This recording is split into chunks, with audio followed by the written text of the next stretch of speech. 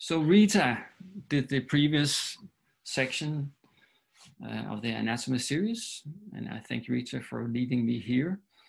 She was coming from the kidney, finishing off around the kidney, walking her way down the ureter towards the bladder, into the bladder, right?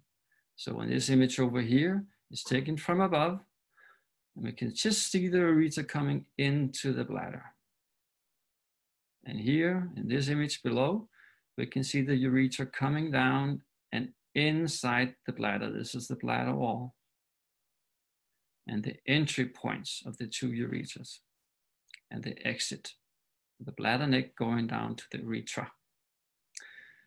But what I aim to do to start with is to go in front of the bladder. Eventually I will come back, I will come back to the bladder, but now I will focus a little more to the front of the bladder, more to the pubic bone itself.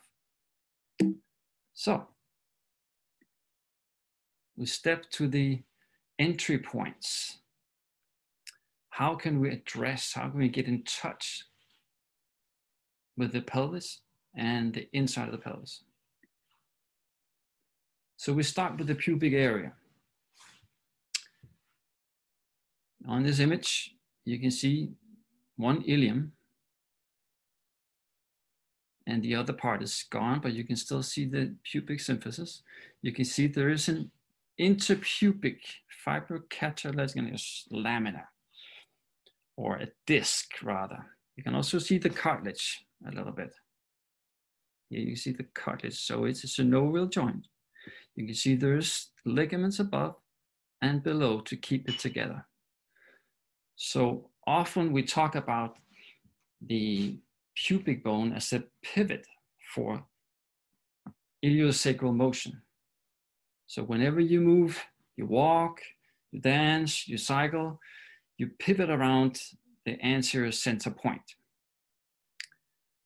So here we also have the superior ramus and the inferior ramus and the obturator canal with the membrane inside. And from here, the inguinal canal. We stay a bit around this area for the pubic area and also for this presentation. We have some muscular attachments to the pubic area. From below, we have the adductor coming up to the ramus. Also from below, they have the uh, pelvic floor coming anterior to catch on to the lower part of the pubic bone. From above, we have the whole set of the abdominal musculature coming down, ending down with the pyramidalis down here. So from either end of the pubic bone, we have muscular tissue. You can also notice on the side of the pubic bone, we have the obturator muscle here on the outside.